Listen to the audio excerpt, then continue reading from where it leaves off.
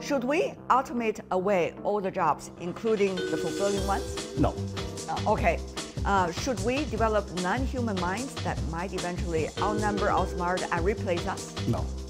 Should we risk a loss of control of our civilization? Uh, absolutely not. what is the larger scale innovation, the jump that you're, you're expecting? So just like uh, Windows for PC, like uh, Android, uh, iOS for, for your mobile phone, this is the OS for AI. Uh, so it's a new platform that you can build applications, uh, can create a new ecosystem on top of that.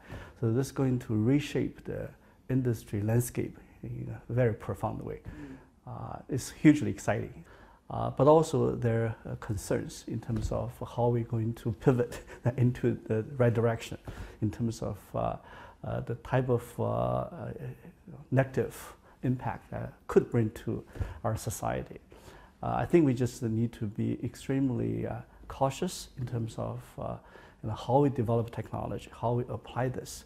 We develop of foundational technology, but also uh, we always put uh, AI safety and the responsibility above all the uh, technical and, and industrial efforts. but overall, I would think open source and open innovation is gonna continue to be the main trend.